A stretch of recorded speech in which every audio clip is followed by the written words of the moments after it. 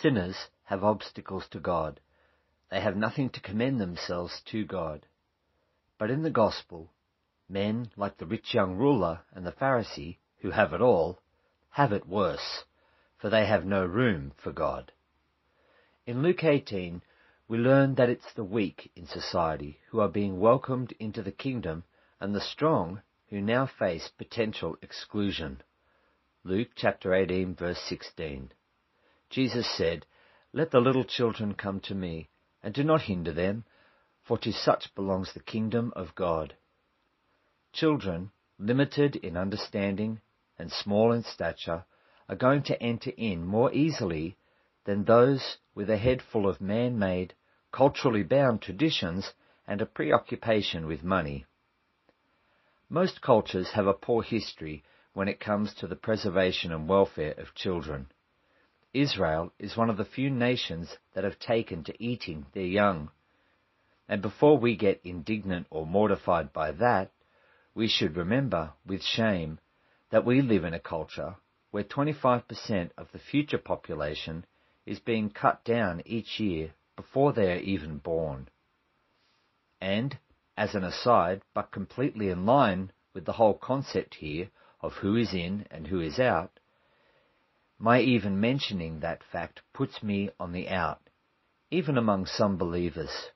Why?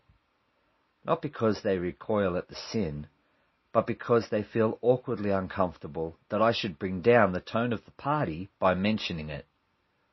Sadly, our discomfort is not at the wickedness, which is where it ought to be, but in the decisive tone. Here, in Luke 18, some little ones have come onto the scene. Somebody carried them or held their hand in order that Jesus might touch them. The disciples, being men of their time and bound by cultural norms, rebuked these mums and dads. And, though it would embarrass the disciples, Jesus rebukes these self-appointed guardians publicly. We live in a similar time. We believe that Jesus loves the little children. True enough. But at the same time, many worry that if the kids get too close to Jesus, and especially take a seat at the table, Jesus might zap them for their infant ignorance. On that score, the disciples are better than us. They at least try to keep the kids from bugging the reality. We fear the kids might get the rough end of the stick for getting too close to the shadow. How close can children come to Jesus? Very close. Close enough to touch.